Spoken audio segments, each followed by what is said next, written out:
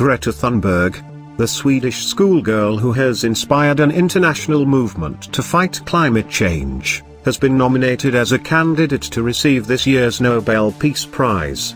She was nominated by three Norwegian MPs. If she were to win, she would be the youngest recipient since Pakistan's Malala Yousafzai, who was 17 when she received the prize.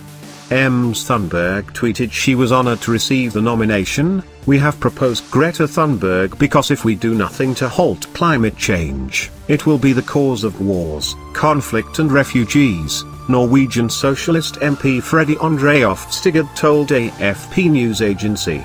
Greta Thunberg has launched a mass movement which I see as a major contribution to peace, he added.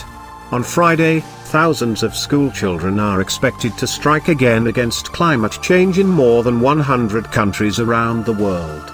By Ms. Thunberg under the hashtag Hash Fridays for Future.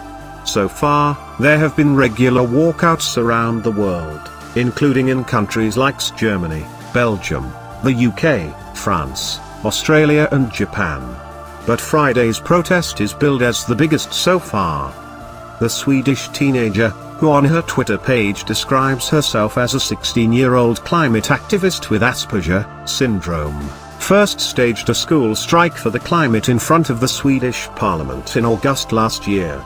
Since then, she has been missing lessons most Fridays to stage her regular protests. She continued to gain international attention after speaking at the UN climate talks in Poland in December and at the World Economic Forum in Davos in January. On climate change, we have to acknowledge that we have failed, she told Global